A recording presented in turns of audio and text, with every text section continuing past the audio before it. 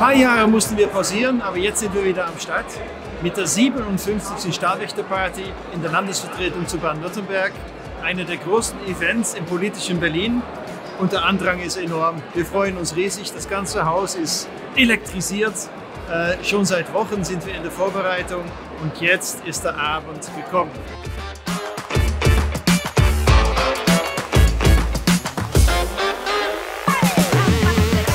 Wermutstropfen. Wir haben den Angriffskrieg Russlands in der Ukraine mit den schrecklichen Bildern und den Kriegsverbrechen.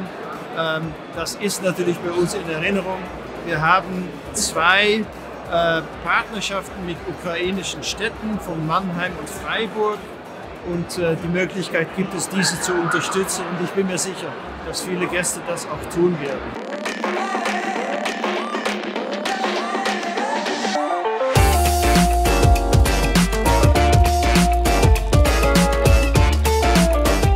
Sehr, sehr gutes Motto gefunden mit Transformation, Innovation und Erfindung.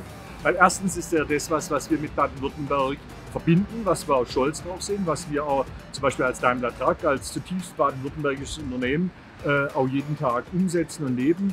Ich glaube, wir sind hier in sehr, sehr guten Dialog mit der Politik dabei, äh, was Förderung dieser Transformationsprozesse, die wir gerade was Klimawandel angeht, mittendrin stehen in was, was epochal ist. Also ich möchte jetzt nicht wirklich, das ist so wichtig wie damals als Daimler und Benz, auch aus Baden-Württemberg, vom Pferd auf den Verbrennungsmotor und wir gehen jetzt vom Verbrennungsmotor in die äh, elektrische CO2-freie Zukunft.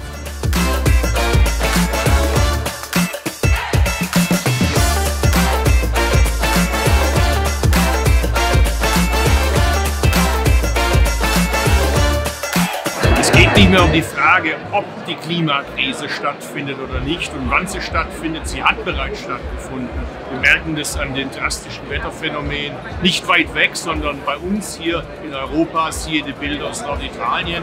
Die gute Nachricht ist, wir haben eigentlich alles, was wir braucht, um die Folgen abzumildern, um dafür zu sorgen, dass es nicht ganz außer Rand und Band geht.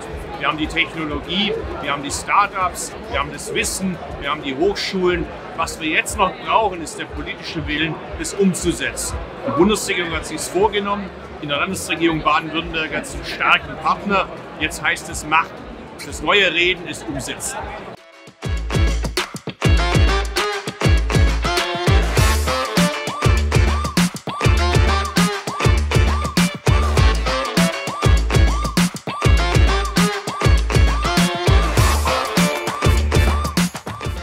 Wenn ich an Baden-Württemberg denke, dann denke ich zum einen an meine Heimatstadt Schramberg, in der ich aufgewachsen bin und zur Schule gegangen bin. Und dann an Freiburg, wo ich viele Jahre als Abgeordnete gearbeitet habe. Inzwischen lebe ich in Berlin, aber ich denke wirklich sehr, sehr gerne an die Zeiten in Baden-Württemberg zurück.